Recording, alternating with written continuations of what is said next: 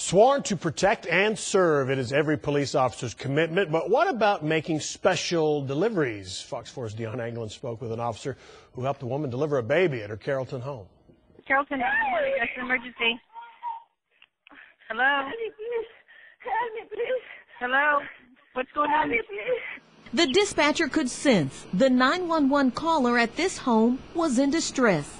Couple minutes later, Steve Pontieu across the street saw police pulling up. He pulled his gun out and he, and he walked up and he walked up to the house with his gun out of his holster, his pistol out of his holster. And I said, "That's that's strange to me." I said, "You know, because those people are quiet. I mean, you never hear nothing out of them." That Carrollton PD officer with his gun drawn was Gene Kempton. He suspected either a burglary in progress or an assault. It was neither. The front door, I, I pushed it open and saw the little three-year-old sitting there watching cartoons. So I holstered my gun, thinking, well, maybe it's not a burglary. And I said, "Where's your mommy?" And he pointed down the hallway. So I go down the hallway and I hear her uh, asking for help in the bathroom. I get the door open, and she is in the process of giving birth.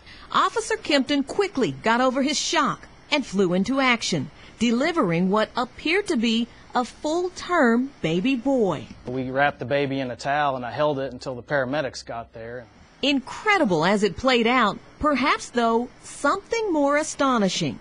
Listen again. Hello? Help me, please. Help me, please. The upset woman doesn't say she's having a baby, and we learn the reason why. She indicated to one of the paramedics she didn't realize that she was pregnant. At all? At all. Neighbor Steve offers congrats, then can't believe his ears. That's pretty good. That's pretty good. I mean, she must have just been. I, I'm surprised she didn't know she was ready. Yeah. It must have just all of a sudden. Just, Right. there They say was. she didn't know at all that she was expecting. She didn't know she was expecting. Officer Kempton is still amazed. I wasn't expecting uh, to deliver a baby that day. Uh, Mom and Dad apparently weren't expecting to be new parents that day either. It took everybody by surprise.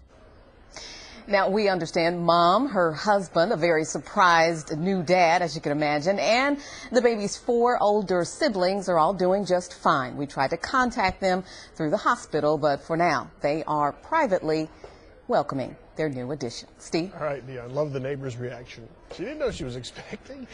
A lot of people are probably thinking that tonight. All right, Dion Anglin in the newsroom. Thanks.